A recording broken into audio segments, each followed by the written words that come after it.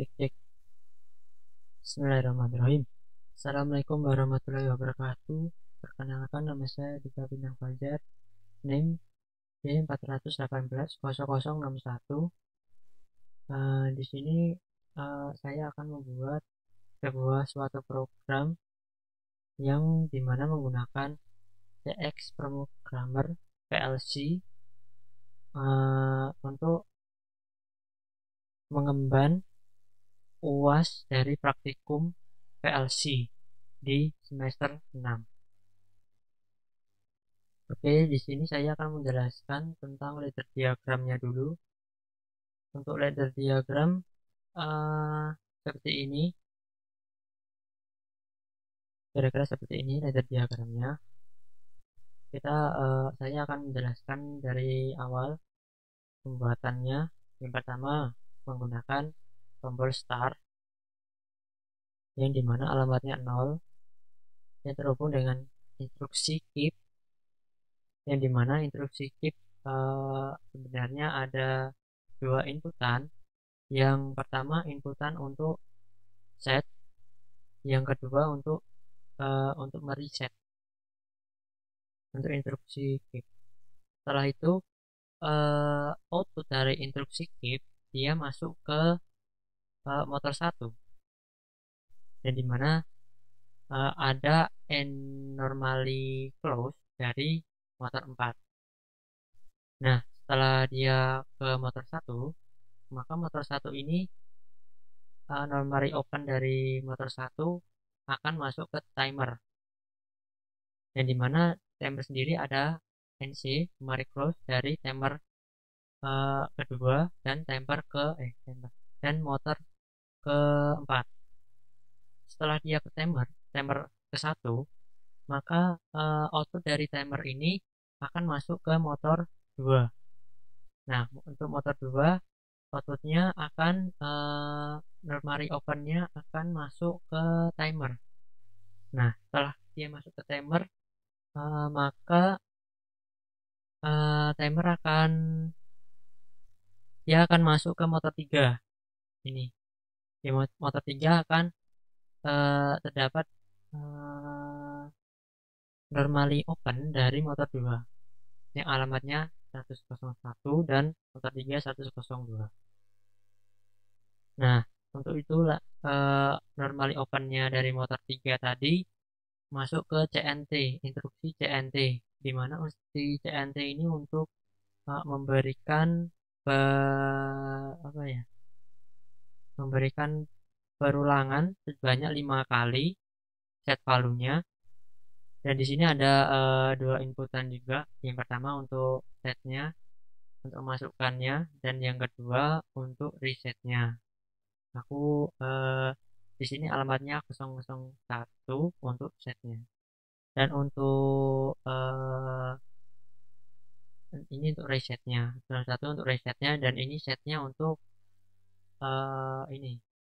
Jadi setelah motor 3 uh, menyala nanti ya normally opennya akan masuk ke CNT nah setelah dia ke CNT maka masuk ke motor 4 nah motor 4 ini sebelum masuk ke motor 4 dia akan masuk ke timer terlebih dahulu. Banyak 5 detik lalu dia akan masuk ke motor 4 nah apa yang akan terjadi setelah motor 4 menyala? Di uh, di sini motor 4 akan menyala maka di sini akan normally open. Dan di sini juga akan normally open.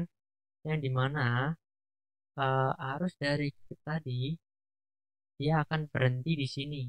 Maka uh, motor satu ini tidak akan teraliri oleh uh, tidak teralih oleh arus. Maka timer dan motor 2 dan motor 3 dia tidak akan menyala. Dan motor 1 juga tidak akan menyala karena berhenti di sini. Nah seperti itu rangkaiannya. Kita coba run.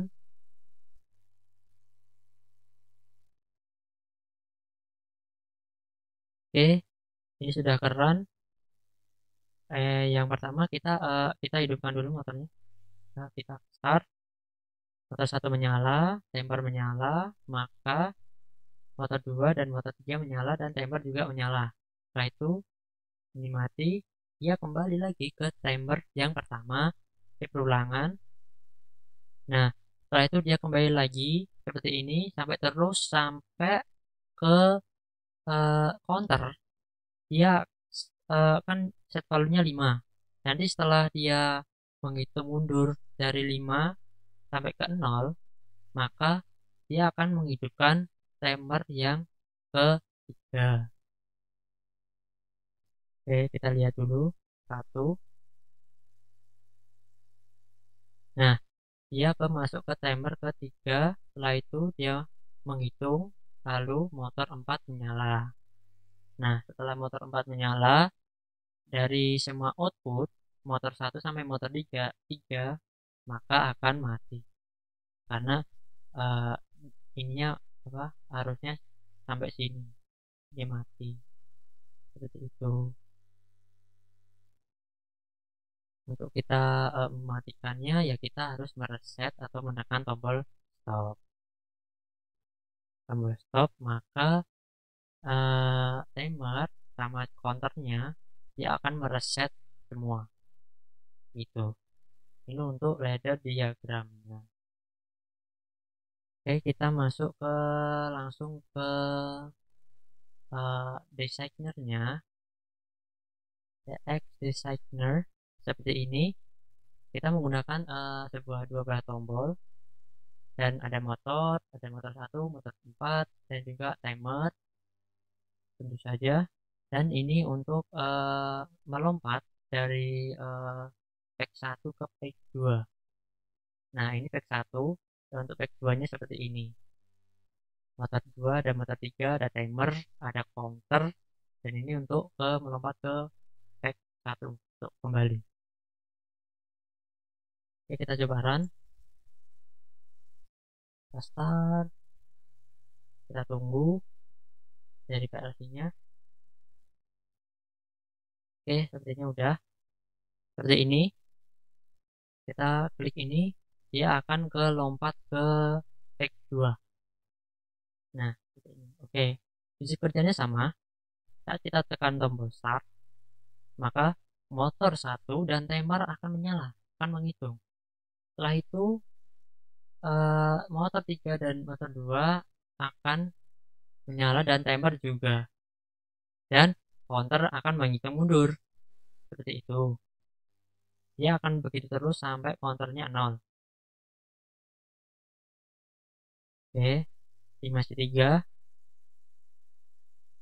dia akan kembali lagi ke timer 1 di sini motor akan motor satu akan menyala terus karena uh, untuk menghidupkan uh, timer. Hmm. nah ini kan udah nol nah timer 3 dia menyala dan setelah itu dia uh, motor 2 dan 3 mati counter habis. Terusnya maka motor 4 menyala. Semua rangkaian eh semua output dia akan mati. Seperti itu. Dan untuk meresetnya menggunakan tombol stop dia akan mereset. Counternya juga akan mereset timer juga mereset semua seperti itu untuk CX designernya oke kita lanjut ke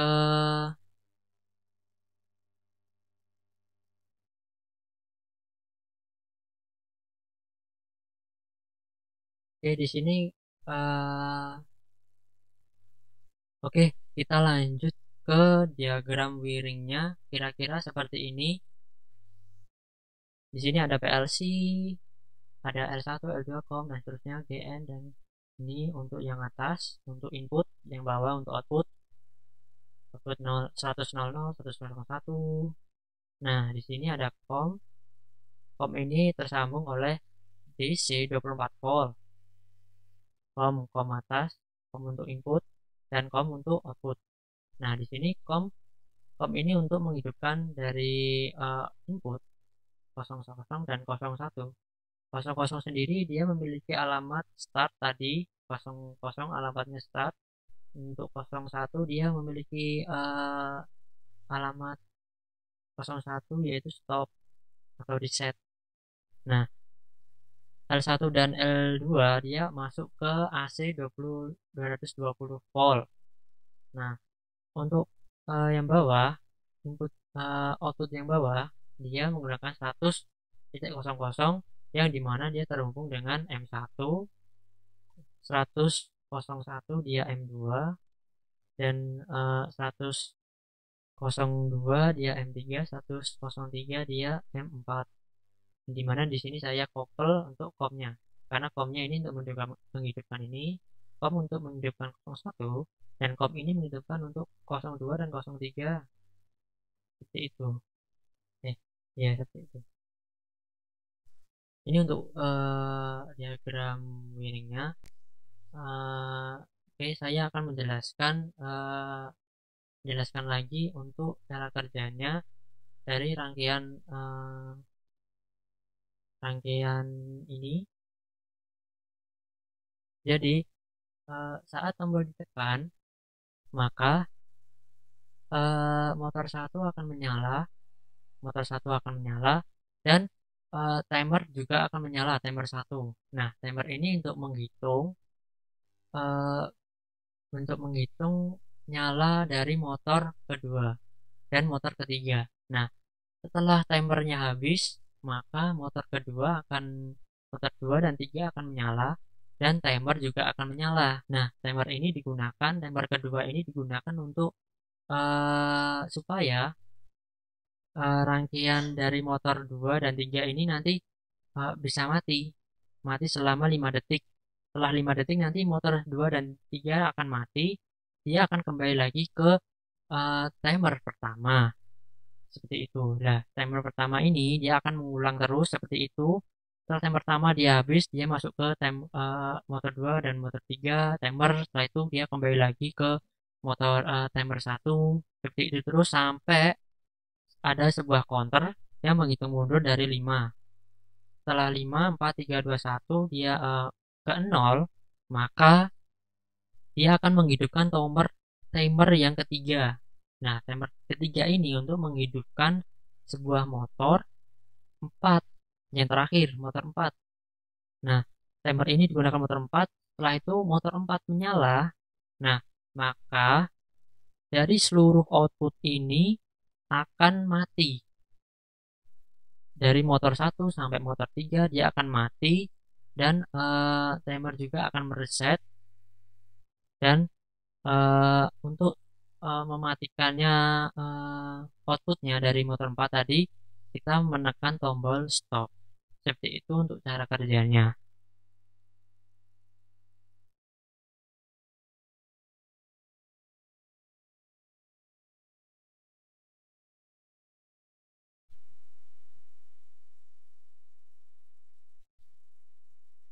Oke, uh, sekian dari video ini. Apabila ada kurangnya dari rangkaian maupun uh, dari gambarnya atau kurang jelas dari rangkaiannya atau penjelasannya, uh, saya mohon maaf. Sekian dari saya. Uh, wassalam, wassalamualaikum warahmatullahi wabarakatuh. Terima kasih.